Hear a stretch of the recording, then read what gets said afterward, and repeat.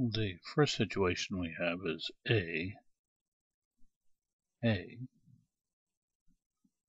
ANDed with B or C.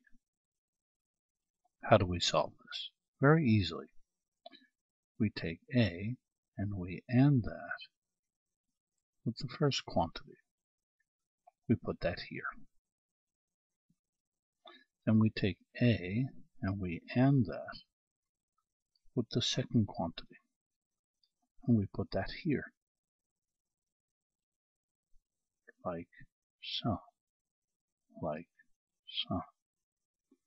And then we take the ORed quantity and we put that here. And that's it. That's how simple this is. The second situation is A ORed with B ANDed with C. How do we solve this? Pretty much the same way.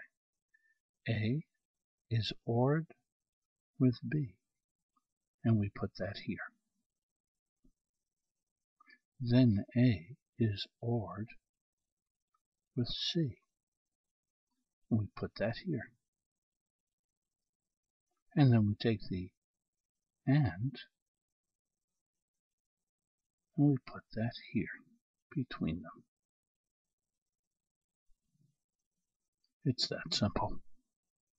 A or B and C becomes A or B and A or C.